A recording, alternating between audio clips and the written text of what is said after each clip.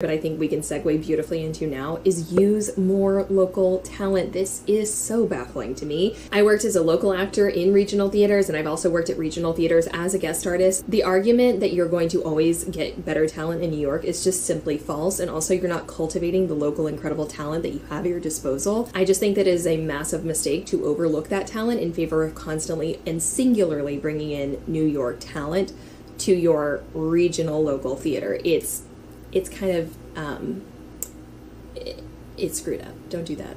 Your audiences will be none the wiser. You'll be benefiting your community. You'll be using and nurturing local talent. It's a win win win win win. And it's going to be less expensive for you because you aren't going to need to house them.